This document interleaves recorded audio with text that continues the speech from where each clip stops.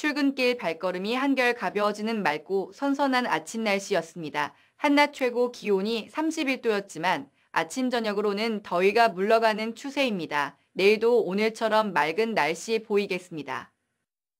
내일 아침 동부 지역 날씨는 최저 기온 19도로 시작해 한낮 최고 기온은 30도로 기온이 조금씩 내림세를 보이고 있습니다. 광주 20에서 28도, 목포는 23에서 28도 예상됩니다. 해상은 구름 많은 날씨 이어집니다. 예상되는 바다의 물결은 먼바다 포함 최대 1.5m고 바람은 초속 6m에서 12m로 불겠습니다.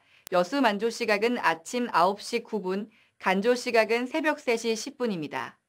다음은 주간 날씨입니다. 비 내리는 화요일과 수요일을 제외하고 맑은 날씨가 계속될 전망입니다. 9월을 앞두고 선선해진 날씨에 조금씩 다가오는 가을을 느낄 수 있겠습니다. 지금까지 AI 날씨였습니다.